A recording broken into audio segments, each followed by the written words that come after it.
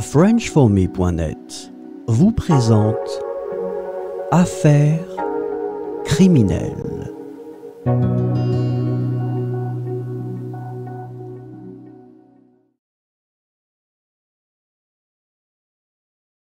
Albert Millet, surnommé le sanglier des Maures, commet une série de meurtres brutaux dans la région en 2007.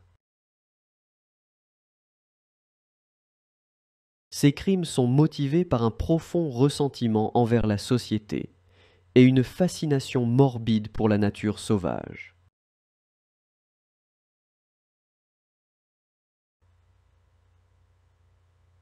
La police entame une enquête ardue, confrontée à un tueur méthodique qui efface soigneusement ses traces.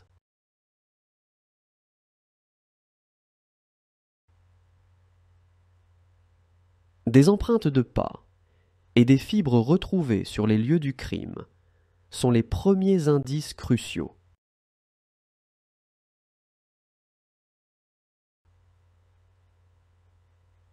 Les enquêteurs découvrent également des témoignages faisant état de comportements suspects de la part de Millet dans la région.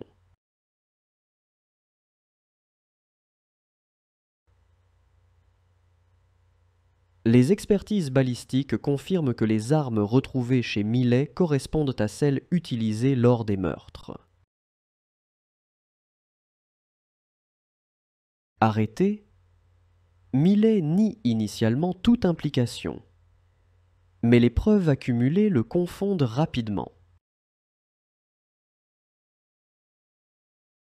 Au procès, sa défense tente de plaider la folie mais les éléments démontrent une préméditation et une lucidité dans ses actes. Condamné pour meurtre multiple avec circonstances aggravantes, Millet est condamné à la réclusion à perpétuité.